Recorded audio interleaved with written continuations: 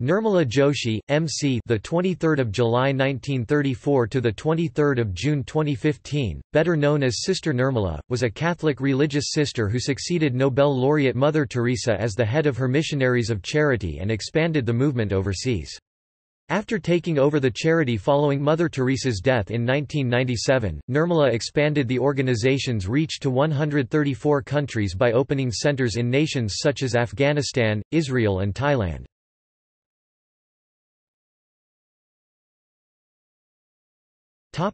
Biography.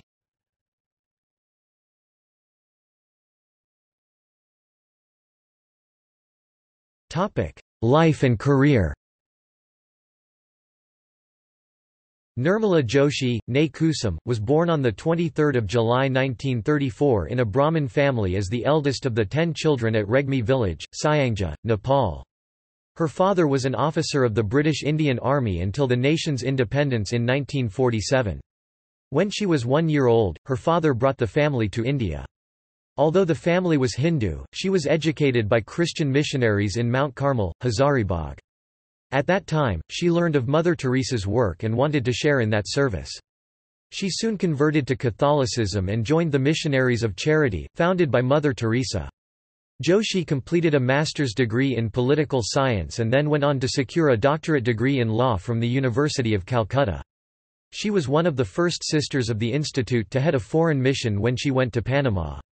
In 1976, Joshi started the contemplative branch of the Missionaries of Charity and remained at its head until 1997, when she was elected to succeed Mother Teresa as Superior General of the Institute. The Government of India bestowed the Padma Vibhushan, the second highest civilian award, on Sister Joshi on Republic Day, the 26th of January 2009 for her services to the nation.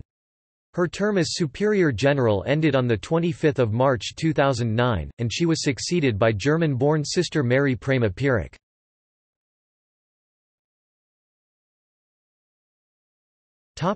Death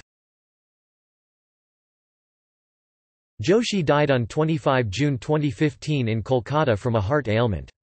Many leaders of India expressed their condolences in media, including Prime Minister Narendra Modi and West Bengal Chief Minister Mamata Banerjee.